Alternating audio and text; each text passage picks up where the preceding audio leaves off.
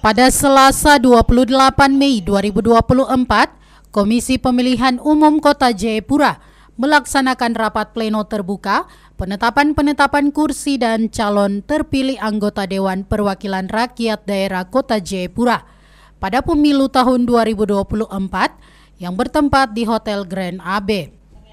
Pada rapat pleno tersebut, Komisi Pemilihan Umum Kota Jayapura menetapkan sebanyak 35 calon legislatif yang berhak mendapatkan kursi sebagai anggota Dewan Perwakilan Rakyat Daerah DPRD.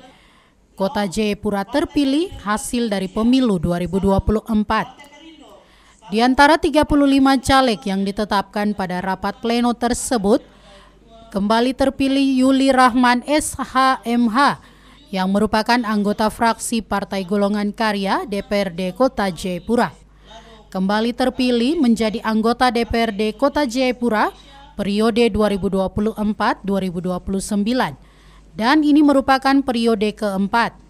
Beliau menjadi anggota DPRD Kota Jayapura dari Dapil Jayapura Utara.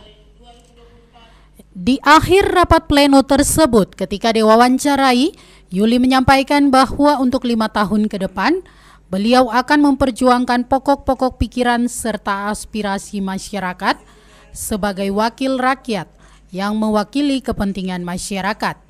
Beliau juga menambahkan perlu adanya perhatian bagi kasus stunting di kota Jayapura. Dan kasus stunting di kota Jayapura akan menjadi perhatian untuk lima tahun ke depan. Selain memperhatikan kasus stunting, yang terjadi, beliau juga menyampaikan akan memperhatikan pentingnya membuka lapangan pekerjaan untuk mengatasi angka pengangguran di kota Jayapura. Terkait dengan tugas dan fungsi uh, di lembaga legislatif kita ada tiga fungsi. Legislasi, fungsi pengawasan dan fungsi anggaran. Banyak juga uh, program-program pemerintah daerah yang sudah kita perjuangkan juga baik kalau kita di internal uh, DPRD Kota Jayapura punya pokok-pokok pikiran yang uh, semua berasal dari aspirasi masyarakat di Kota Jayapura dengan uh, perwakilan dari beberapa dapil gitu. Jadi untuk ke depan bagaimana bisa uh, sinergi dengan pemerintah Kota Jayapura dengan semua program-program pemerintah Jayapura bahkan yang kemarin sudah selesai RPJMD sudah selesai bahkan juga RPD uh, PJ Sekda Kota Jayapura PJ Kota uh, Wali Kota Jayapura ini juga sudah kita laksanakan. Terkait dengan program-program yang baru bagaimana bisa linear dengan uh, program-program dari OPD-OPD yang ada. Gitu. Yang sekarang kita lagi uh, apa uh, gencar yaitu stunting sekarang.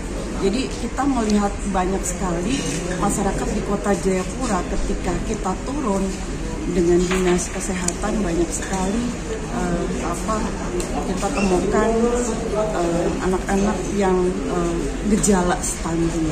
Sehingga ini juga menjadi uh, apa kerja-kerja kita ke depan bagaimana di tahun ini apa yang perlu kita prioritaskan di pemerintah kota Jayapura. Bukan saja kesehatan tapi ada pendidikan juga terus ada tenaga kerja juga karena banyak juga kita di kota Jayapura banyak sekali kita punya anak-anak muda yang menganggur juga bagaimana kita bisa membuka lowongan pekerjaan sebesar-besarnya supaya bisa mengakomodir seluruh uh, apa pekerja yang ada di kota Jayapura dalam bentuk program-program baik di OPD dan juga di lembaga dewan.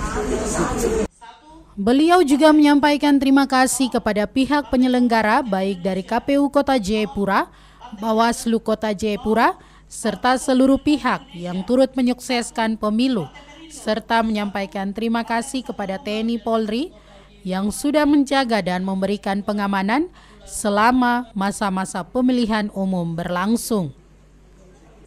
Dari Jayapura, Papua, Ones Windesi, Jaya TV mengabarkan.